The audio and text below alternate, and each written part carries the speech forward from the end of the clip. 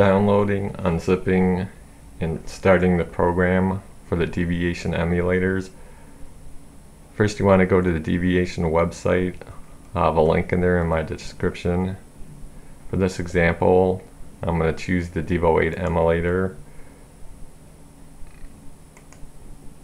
I just click download. Now make sure if you're using whatever browser, web browser, to save the file, don't open it. I'm using Mozilla Firefox for this example. So I want to save it. Then go to your download location wherever you downloaded the file.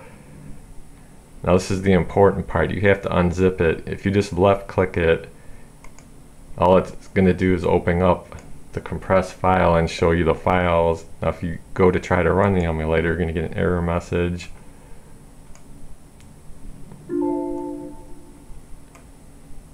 You see the error message right here and there's the file but it can't access it because the file is zipped. So you want to go back. Windows has a built-in uh, zip unzip program so highlight it right click it with your mouse select extract all. And hit extract.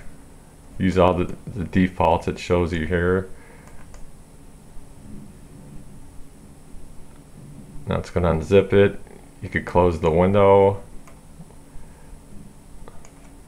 And here's the files in the system.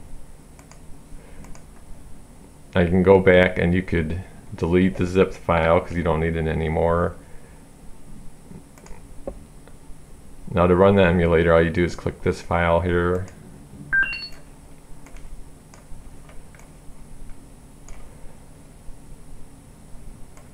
and you're going to have two windows that open.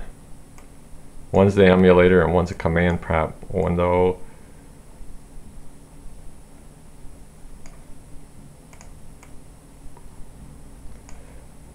take the command prompt window and hit the minus key that'll make it run in the background and that's it. That's the that's the emulator.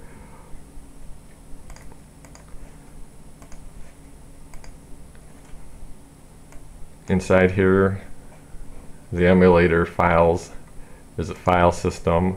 And it'll say Devo 8 7e 10 or 12 depending on which emulator you have.